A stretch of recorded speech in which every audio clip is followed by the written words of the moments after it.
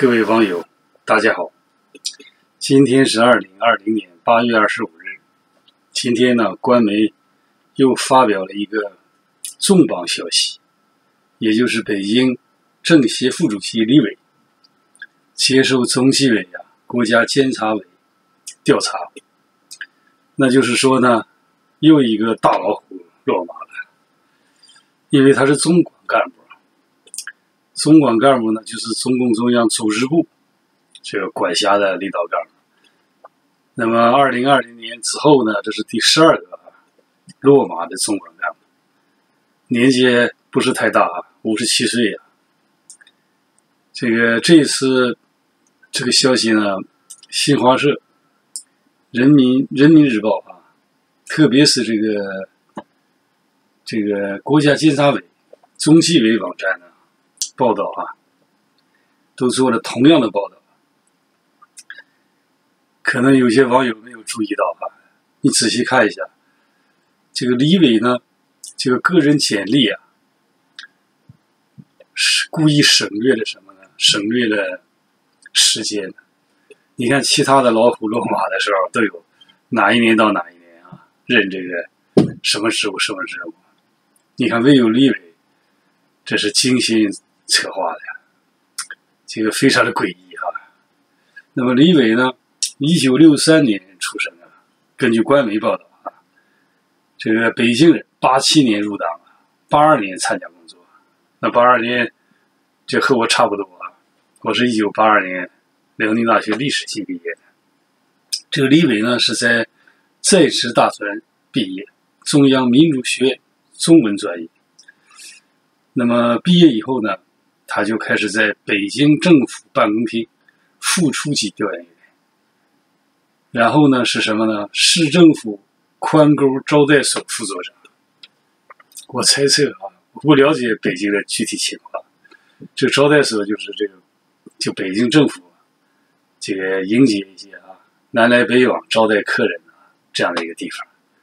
那这个地方当当所长、副所长，那权限是很大的。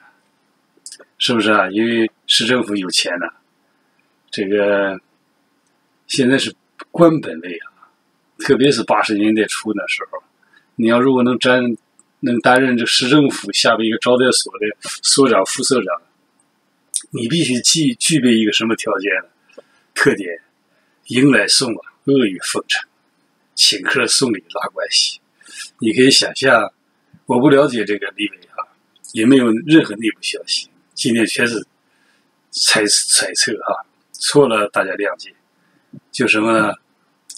他这担任副书记这个调研员的时候啊，政府这个领导干部就发现啊，估计应该是当时的市长发现他这个是人才啊，就特别特别善于拉关系，这个迎来送往，招待这些来来往往的客人，所以呢，就让他担任这个宽沟招待所的副所长、所长。担任所长之后呢，手有权限很大呀，有钱有物有东西。你想，这个都讲这个领导干部都讲这个请客送礼，吃吃喝喝啊，拉关系。这个所以干的不错。大家注意下一个词，下一个职务是什么啊？市政府驻海南省办事处党委书记、主任（括号呢副局级），也就是那个时候。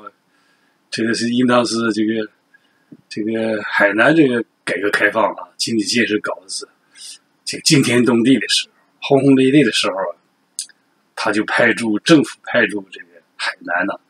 你想这个办事处还是一个副局级办事处，这什么意思啊？在那都可以做生意啊！大家不要忘记了，有一个领导人在那任职是谁？也就很多人都关心王岐山。啊，你看王岐山的职务啊，这个王岐山呢，说是在这个广东省哈，九七年在广东省担任副省长。这个当时这个在亚洲金融风暴的影响下啊，广东的银行就不良贷款比率是百分之五十，所以就把王岐山派去广东协助李长春处理这广信、粤海等国有资产。资资不抵债的问题，逐渐他被公众所知，出了名的啊。那么呢，两千年底他回到北京了，受到国务院总理朱镕基的重用。哈哈，大家不要忘记，朱镕基是对习近平现在这套政策是不满意，那肯定的。这个党代会上面不鼓掌的不是朱镕基嘛？怒目圆睁，就是不鼓掌。当时也是海内外舆论是一片哗然。回到家里以后有点后悔了啊，因为儿子也参与了生意，怕习近平整，马上以这个清华什么一个学位的名义出来哈，这个挽回这个这个影响啊，这很有意思啊。说是那个时候朱镕基重视他，他就出任了国务院经济体制改革办公室主任。两年后调往海南，出任中共中共海南省委书记、省人大常委会主任。说老王在那个地方，那赶上了改革开放的这个好年代啊，这个生意遍地都是啊，外商纷至沓来啊，那真是钱抓一把就是一把呀。这个老王在那个地方也是和海航搞的也是不清不白的，是不是？这件事情被国卫在海外渲染夸张，搞得真是全世界无人不知哈。那么海航最后发生这事情。不需要我老姜再复述了，是不是啊？这个结局也是非常的诡异啊。那么非常可惜，这个王岐山在这个地方仅仅干了半年啊。但是不要忘了，在半年这个时间，他在这个地方确实是了不得哈，确立了生态立省的工作方针啊。你看，他当时把那个海南建成全国人民度假村。中华民族四季花园的目标，这老王的确是有点本事啊。这个零三年呢，就是 SARS 事件爆发了，老王就到了北京啊，接替了这个孟学农啊，后来担任北京市的代市长。第二年正式成为北京市市长。那我就猜测有没有可能，这个这个李伟呀，就是这个王岐山重用的，喜欢这个一个嫡系的。因为这种可能啊，我没有，因为官方没有讲这个详细的披露，这个李伟这个任职的这个这个时间啊，故意是隐去了。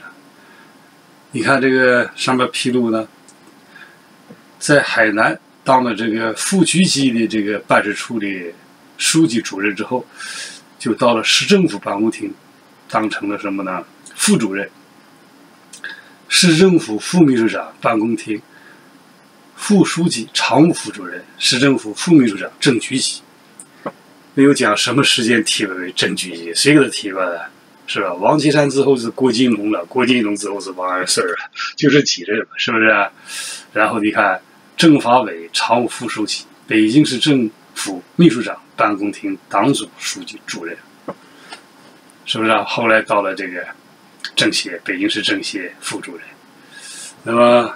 我就打猜测猜测，这有没有可能是在北戴河会议上给这个习近平提意见呢？是不是啊？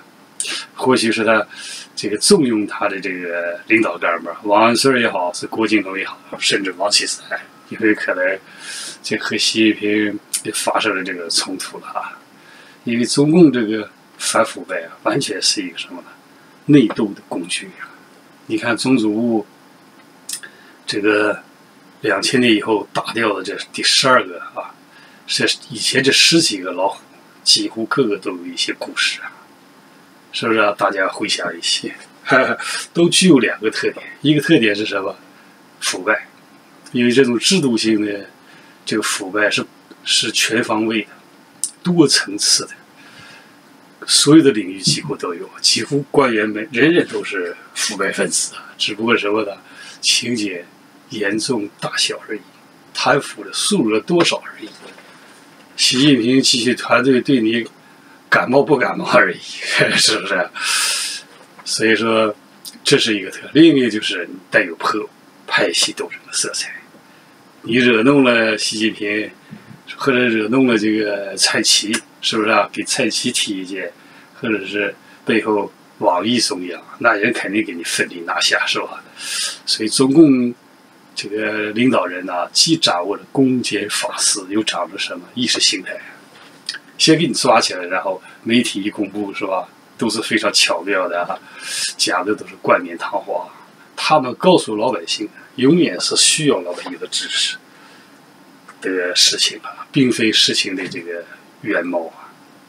你看，这一次北京市政协副主席李伟接受这个调查的消息，这和以前不一样的就是把这个时间隐去了，隐去了，但是这说明什么？这不是不是说这个网络或者报纸啊，这多这个为了这个减减少减少版面啊，为了使这个消息。